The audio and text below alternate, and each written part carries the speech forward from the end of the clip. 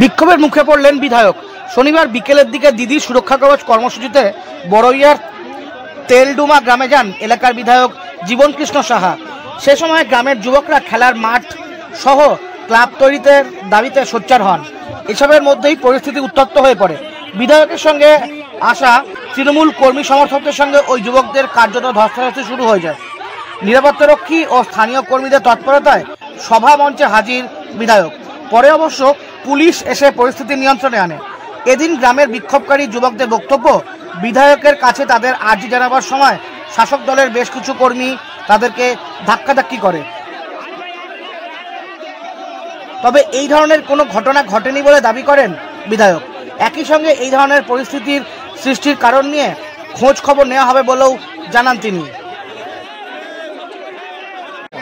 অন্য কোনো সমস্যা নাই। আমাদের আমরা যথেষ্ট রেসপেক্ট করি, উনি আমাদের স্যার জীবন কৃষ্ণ সাহা, উনি আমাদের স্যার এবং আমরা আমাদের গ্রামের রাজনৈতিক নেতাদেরও আমরা অনেক অনেক সম্মান করি রেসপেক্ট করি। কিন্তু আমরা যেসব সোশ্যাল ওয়ার্কের কাজ করি যেমন আমরা কাজ বলতে কি বলি যাদের বাবা মা নাই আমরা তাদেরকে প্রত্যেক মাসে তিন হাজার টাকা করে দিই। সেটা আমরা চাঁদা তুলেই হোক যেমন করে হোক আমাদের ছেলেগুলো ঠিক আছে আমরা সেগুলো দিই। বাইরে থেকে টাকা নিয়ে এসে আমরা তাদেরকে দিই। কিন্তু আমাদের কোনো প্ল্যাটফর্ম নাই। যে আমরা আরও কাজ করতে চাইছি গ্রামের কোনো মহিলা বিয়ে হবে তো উত্তেজনা কেন? এই উত্তেজনা কেন? উত্তেজনা বলতে আমরা এখানে কথা বলতে গেলাম সামান্য কিছু লোক যাই হোক করেছে এবং সামান্য কিছু লোক তারা হবে হবে বলে কাটিয়ে দিয়েছে। কিন্তু আমরা তো স্যারের সঙ্গে এইভাবে এর আগে করে বলে একজন আমাকে ধাক্কা মারলো যাই হোক আমি সরে চলে এলাম। তারপর থেকে ওরা চেঁচামেচি করে একজন আপনাকে ধাক্কা মারার কারণে দুই পক্ষের একটু ধাক্কা ধাক্কি হলো তাই তো? ধাক্কা মারার কারণ বলতে ওরা এ করতে চাইছে না। স্যার বলেছে করে দেবে কিন্তু আমাদের তো সেরকম দাঁড়িয়ে কথা বলতে দিতে হবে। সেটা গ্রামের কিছু রাজনৈতিক নেতা। আমাদেরকে ধাক্কা মেরে। যে ঠিক আছে না সরে যাও এখন সরে যাও পরে। আরে এখন বলব না তো কখন বলব? কি চাইছেন কি চাইছেন? আমরা চাইছি আমাদের একটা ক্লাবের দরকার। যেটা প্ল্যাটফর্ম হবে আমরা ওখান থেকে সোশ্যাল ওয়ার্ক করতে পারি। গ্রামের মানুষের উপকার করতে পারি। আমরা সেটা আমরা এখনও চাইছি ডিএমসি থাকুক। ডিএমসি থাকবে কিন্তু তার সঙ্গে সঙ্গে আমাদের ইয়ং জেনারেশনকে আমাদের প্রায়োরিটি দিতে হবে।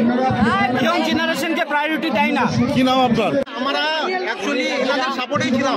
বাট একটু মানে ধরেন সংখ্যা বিষয় সংখ্যা বিষয়ের জন্য আমাদের ইয়ে আমাদেরকে ক্লাবের বাধাটা দেওয়ার জন্যই না আজকে ধাক্কা ধাক্কি। তাছাড়া আমাদের কোনো কি চাইছেন? কি আমরা চাইছি আমাদের ক্রিকেট খেলার মাঠ হোক আমাদের একটা সুন্দরভাবে ক্লাব হোক আমাদের যেটা বাচ্চা যে ক্লাবটা ছিল বর্তমানে আমরা কিন্তু সেই ক্লাবটা পাচ্ছি না।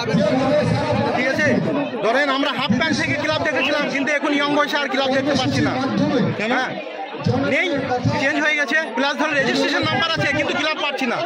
মেম্বারকে বলতে গেলে মেম্বাররা বলে রেজিস্ট্রেশন হয়ে আছে কিন্তু ক্লাব পাই না। প্লাস আমরা ক্রিকেট খেলতে গেলে আমাদেরকে ক্রিকেট মাঠে চর খেতে হয়। মাঠ নেই। ক্রিকেট মাঠে আমাদেরকে চর খেতে হয় মার খেতে হয় মেয়েদের কাছ থেকে। এই কথা বিধায়ককে জানাতে গিয়ে মার খেলেন তাই তো? আমরা আবার ঘুরিয়ে আজকে মার খেলাম। আমরা আজকে ঘুরিয়ে মার খেলাম। আমরা বিধায়ককে মার- জানাতে গিয়ে মার খেলেন? আমরা খেলতে গেলেও মার- মার খাচ্ছি। আবার আপনার প্লাস আমাদের এখানে বলতে গেলেও আমরা মার খাচ্ছি। শিক্ষিত মূর্খ হয়ে যাচ্ছি। কে মারছে? কে কারা মারছে? আমরা দলের নেতারাই মারছে। কোন দলের নেতা? দলের নেতারাই মারছে। আজকে যে দলের মিটিং হচ্ছে সেই দলের লোকেরাই মারছে। ঠিক আছে? ওরা মানতে চাইছে না কথা বলতে দেবে না। এখনকার বর্তমানে নেতারা তোরা নিয়ে থাক। আমরা যুবকরা যদি পারি আমরা নিজে দল বাঁধে যদি কিছু করতে পারি তা করব। বলছি এ, ধাক্কাটা কি কি কারণ? ধাক্কা ধাক্কি হয়নি তো? ধাক্কা ধাক্কি আপনার নাম কি? আপনার নাম কি? আমার নাম বাবু। দেখুন এখানে কিছু ইয়াং বন্ধুরা তাদের ডিমান্ড ছিল একটা ক্লাব করে দেওয়ার জন্য। যাই হোক ওনাদের সঙ্গে কথা হলো। দীর্ঘদিন ওনাদের দাবি ছিল যে ক্লাবটা রেজিস্ট্রেশন করে দেওয়া এবং ক্লাবের যে আমাদের গভর্নমেন্ট আমাদের মানবিক মুখ্যমন্ত্রী মাননীয় মমতা ব্যানার্জির যে সুযোগ সুবিধা সেই সুযোগ সুবিধা যাতে সহজে পাই তার জন্য একটা ওনাদের ডিমান্ড ছিল সেই ডিমান্ডের মতো আমরা কথাবার্তা বললাম। সমস্যা মিটে উঠেছে কিন্তু ওদের অভিযোগ যে অভিযোগ জানাতেছে ওদের তৃণমূল কর্মীদের হাতে আক্রান্ত হলেন মার খেলেন এটা কেন? হস্তস্তি কেন? দেখুন সেরকম কোনো ঘটনা ঘটেনি।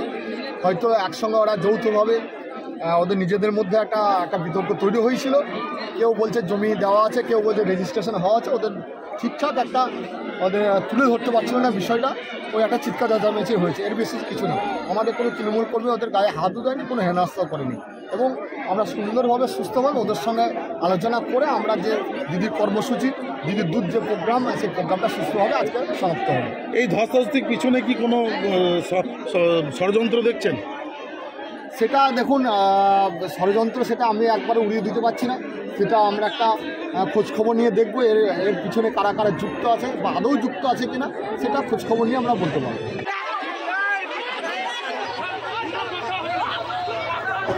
মুর্শিদাবাদ থেকে নিজস্ব প্রতিনিধির রিপোর্ট, টিভি নিউজ টেন।